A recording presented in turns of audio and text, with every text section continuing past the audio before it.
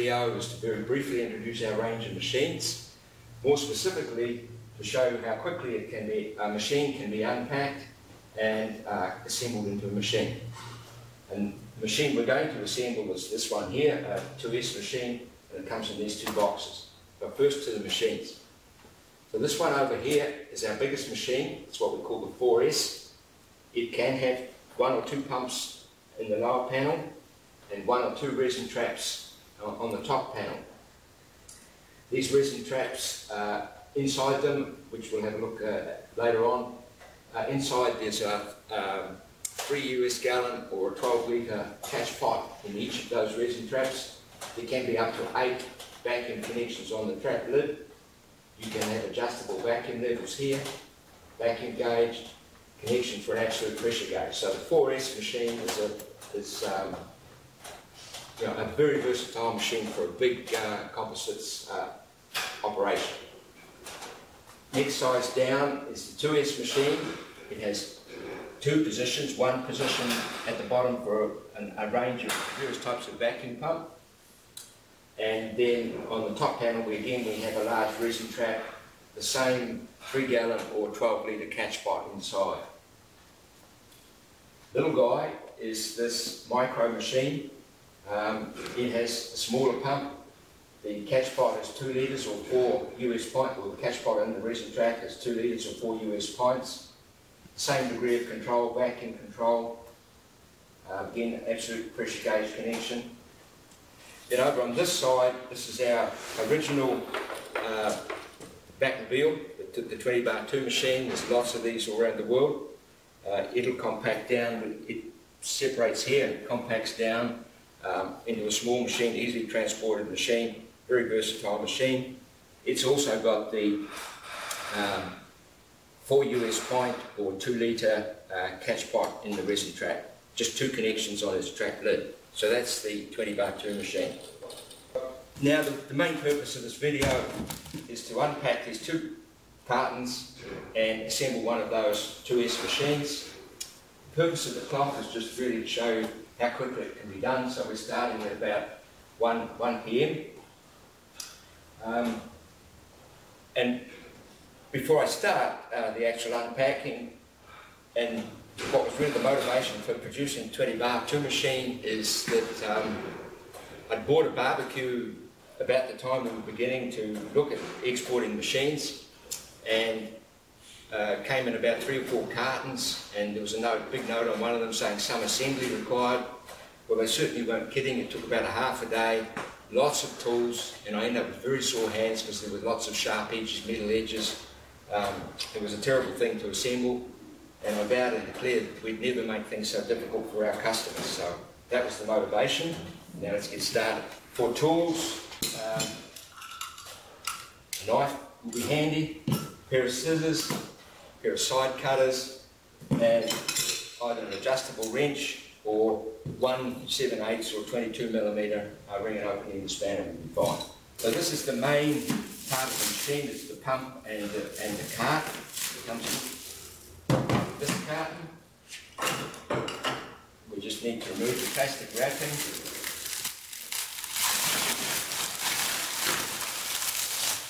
Then we need to cut the straps. Lift off the carton. It's really important to lift the carton off from the top, the complete carton. Don't cut the carton through here and try and get the machine out um, from inside the carton. Remove the whole carton. So now we can just lift the machine off. While we're here, we'll have a look at this. Um, inside the base, we have uh, instruction manual. We have some spare parts for the resin trap, which we can look at later. We have oil for the pump, spare filter element for the filter unit, and, and some other bits which we'll look at later. We need one bottle of oil. But enough oil supplied with the machine for about 1500 running hours. Adjustable wrench,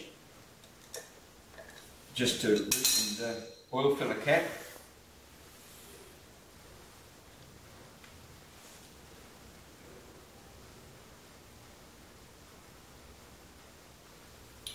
Now I don't want to overfill the pump, I'm just filling somewhere between halfway and about three quarter full. Uh, we don't want too much oil, we want to leave a little airspace at the top of the oil visible in the sight glass.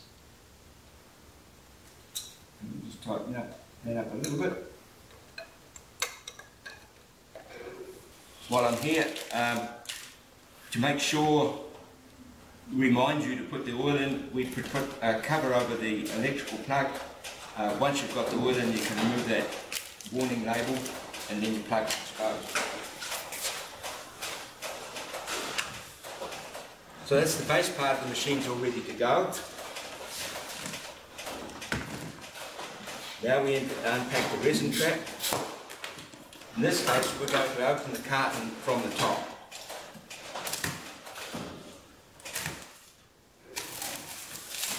The top of the carton, we have three collapsible buckets. Two of them we've left packed, one is unpacked. Um, these these are spare catch pots. There's another one going to be inside the machine, as you'll see in a minute. These are spare catch pots. There's a way of assembling. We've got a separate video for the assembly of these. But don't throw these away. These are your spare catch pots.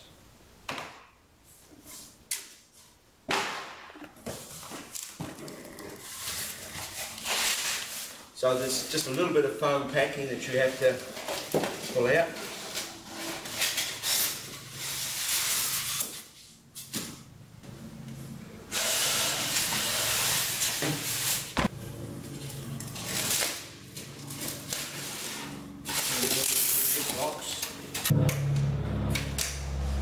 lock at least two of the wheels on the machine.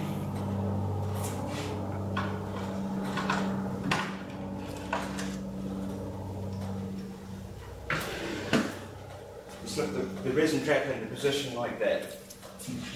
To remove the lid of this particular um, this particular lid, you just push the handles down half a turn, push down and rotate about half a turn, lift the lid off. Inside here we've got a little bit more packing material. We've got the two handles which we're going to put on the cart. Put them down there for a minute. We have a hose which we can put on right away. Just loosen these man nuts a fraction. Push that in. Do that up. Push it into this one. Tighten that one up. That's the connection between the trap and the resin the resin trap and the pump's now been made. In the catch pot we also have a poster you can put up on the wall, just explains the infusion process.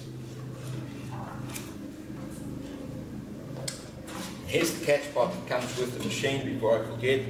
It's this um, very thick cardboard catch pot, wooden base. That's the standard one that comes with the machine. And these ones, as we can see in the other video, are the replacement ones that go in later, just much easier to transport if they collapse like this.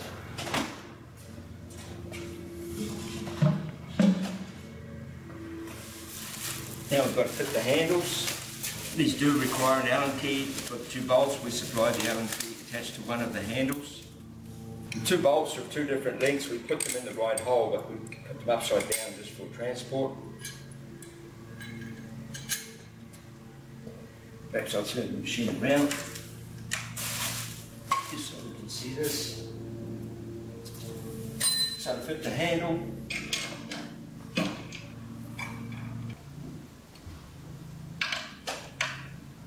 but this is really the most time consuming part of the assembly is just putting the two handles on.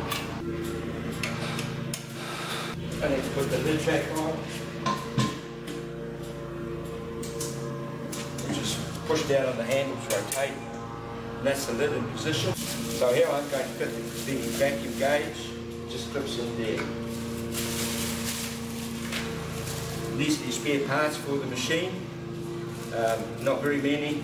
There's a little torch kit, which while I've got it, I'll be able to explain. If you just want to improve illumination in the, in the catch pot that has a viewport, you can just put the torch kit on the top. It's just a bright little LED torch. and gives you much better visibility inside the trap.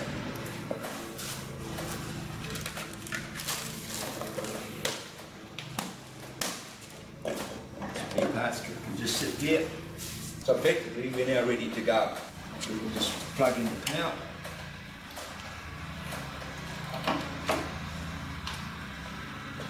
Push the switch, which is here, just here.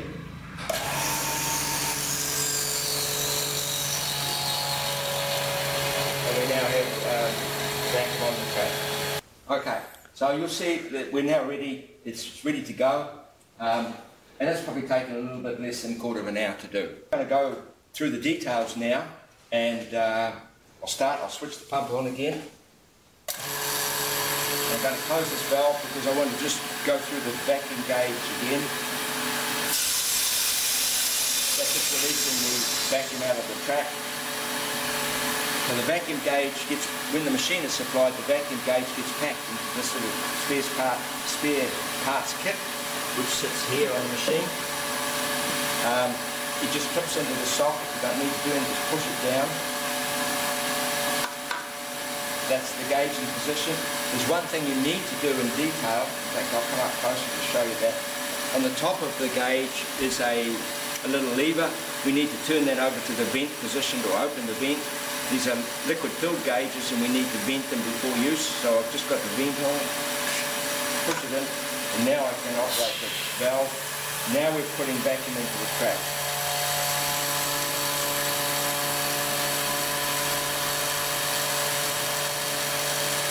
While we're letting the, the trap get evacuated, I'll now show you how the vacuum regulation valve works. To make the vacuum regulation valve effective, we have to open this valve, and then we can rotate this. If we unwind it, we can now set any level of vacuum we like. And the reason we might want to do that is that we're working with uh, the ester resins containing styrene. Um, often they will boil if the vacuum is too high. And so you can just regulate the vacuum to avoid resin boil off when you start to infuse. If you want to override the vacuum regulator, you can just depress the little knob on the and you might want to do this if you're adjusting the bag at the beginning of the process. The vacuum's too, too good and um, you can't adjust the bag easily. You can just override the vacuum with that. But once you let the knob go, you'll go back to your preset position.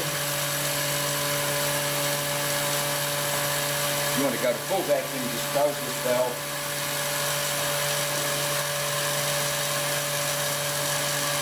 and then it'll go full vacuum on the gauge the last little bit always takes a little while. And for most accurate readings, you just want to tap the gauge on the side just a little bit because the mechanism has, um, there's oil in there, just to free up the mechanism, just tap the gauge.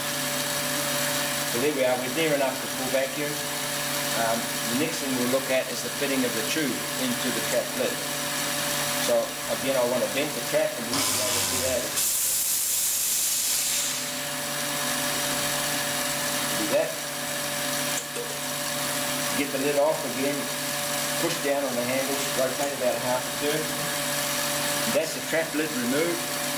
Um, a number of gland fittings, um, in this case a couple of different sizes. This is the half inch or 12.7 mil, and this one is the 3 eighths or 10 mil. But we can have a range of sizes up to uh, 19 millimeters or 3 quarters. So that's the trap lid glands. You can see the big view port, which allows visibility down into the catch pot. Uh, we think that's great for peace of mind when infusing.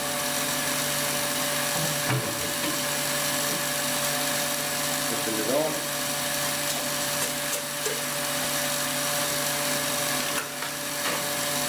The tubing, the tubing we recommend is translucent polyethylene.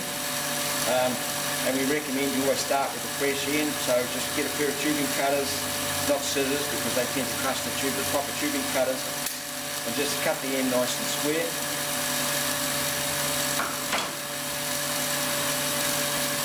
When we supply the machine there's plugs in every one of the connections. You just pull the plug out and normally store them in the in the spare parts them in spare parts kit.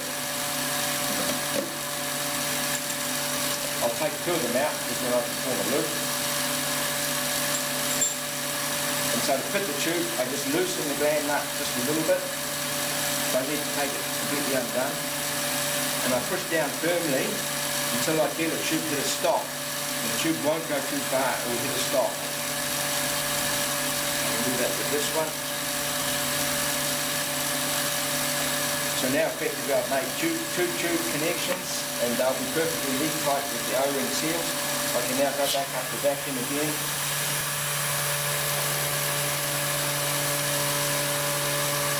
So you can see how quick and easy it was to make those vacuum connections.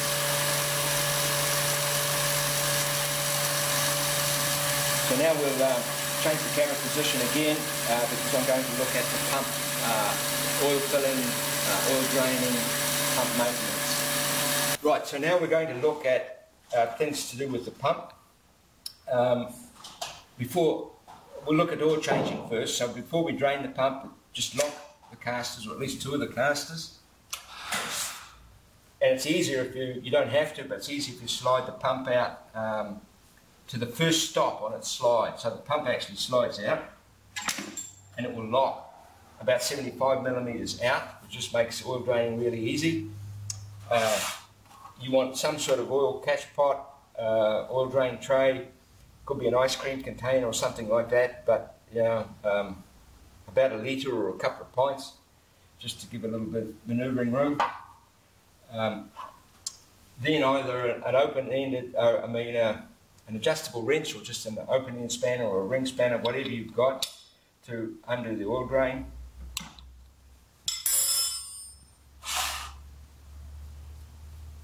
And it's not bad if you have another little tray that you can put that in.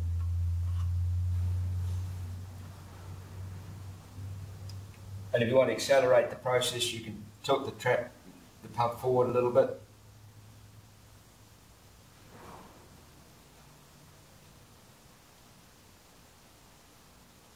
I won't worry about draining out the very last drop, but it does pay to remove all the oil because um, you know it's the last of the residues might be in the bottom of the pump.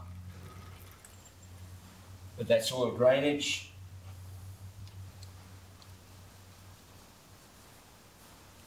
Then just nip the drain plug up again. Ready to push that to one side. I'll give a sphere bottle of oil.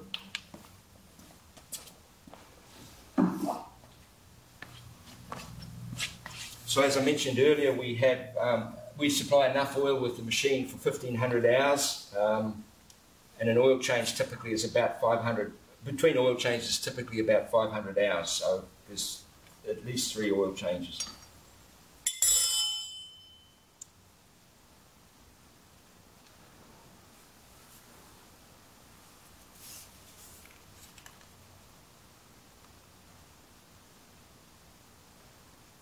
Again, we're just making sure we don't overfill the pump.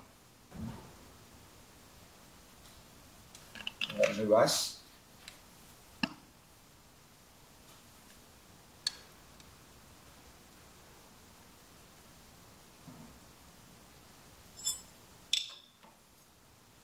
that doesn't take too long. One other thing we can do while the pump's partly out is we can have a look, just check the filter unit. To do that, you can just unplug the, uh, the hose from the trap. The, the, filter unit itself unplugs in the same way. It's the easy way to do it. Just unclip the lid, take the lid off, have a look at the filter unit, it's all nice and clean, it's inside the filter nice and clean.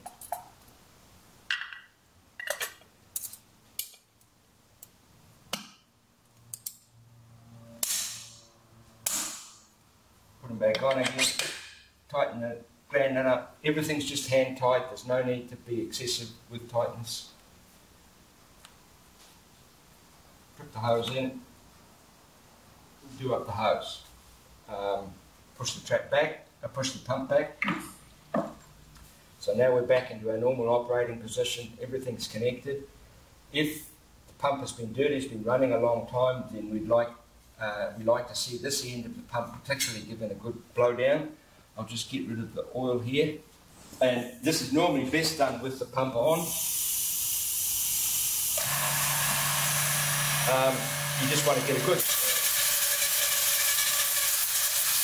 of air.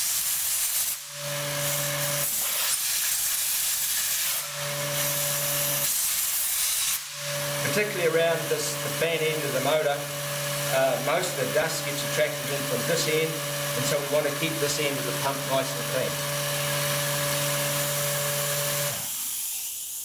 And that's really about all there is to it. Right, so one little further detail we'll look at is the use of an absolute pressure gauge. Absolute pressure gauge looks like this. It's an electronic digital gauge. It's different from this gauge in that this gauge reads to an, as the vacuum improves, this leads to an increasing number. On this gauge, if the vacuum improves, um, the number actually decreases. So it's now open to atmospheric pressure.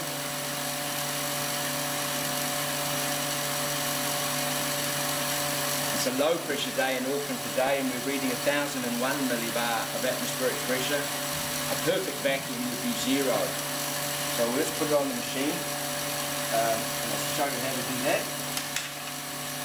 We've got this absolute gauge port is under the machine here. It's exactly the same type of fitting as this one.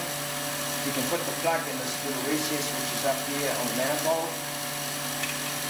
Simply gauge in open pump, open up the trap to vacuum. Uh, you're under 400 millibar, under 300.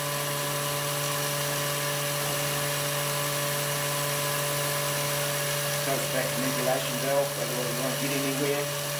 Under 100.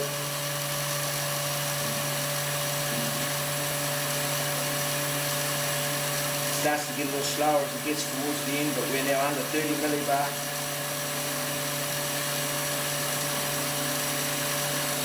under 20.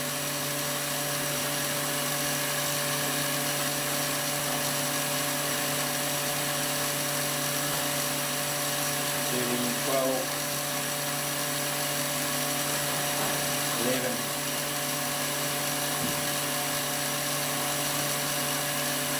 ten. So we're under 10 millibar. We've removed 99% of the air from inside the resin trap and exactly the same as we connected to the part, we could remove 99% of the air from your part um, as long as there were no air leaks into the system. So that's the use of an absolute pressure gauge.